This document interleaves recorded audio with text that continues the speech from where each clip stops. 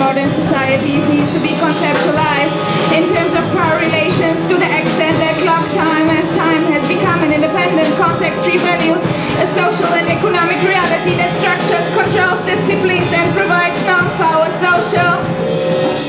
life.